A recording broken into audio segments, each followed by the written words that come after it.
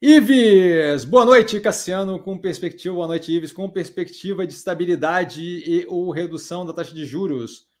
Lopes Brasil, não seria uma boa opção? Tem analisado a Lopes, eu tenho a análise da Lopes no canal, não tem qualquer interesse nativo.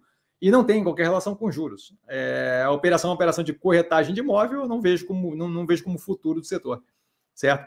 A gente, quando olha para uma quinto andar, por exemplo, a gente vê claramente que diferente do setor de seguro, de insurtech, diferente do setor de corretagem de plano de saúde, aquele setor ali está evoluindo bem agressivamente no direcionamento de automação, é, inteligência, inteligência artificial, é, aumento da capacidade de cada um dos corretores a operar com uma quantidade maior de clientes de forma mais automatizada.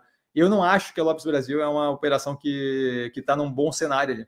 Acho que eles fazem as coisas de um jeito é, antiquado, é, e é antiquado, não é antiquado agora, mas vai ser daqui a pouco. É, de uma forma muito o clássico padrão do que seria corretagem de imóvel. Não acho que aquilo ali é o caminho.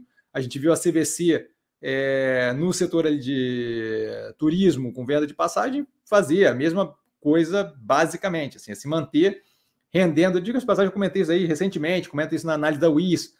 É, o setor de corretagem vai ser tomado, na minha visão, tá, por operações que conseguem lidar com enxugamento da necessidade de mão de obra. E isso daí vai vir é, justamente através de popularização de inteligência artificial e chatbot, é, robô de conversa, que vai reduzir violentamente a necessidade de atuação efetiva do corretor, é, que vai de fato fechar o negócio, e aumenta consideravelmente o nível de operação feita online. Não acho que a Lopes Brasil está alinhada com isso.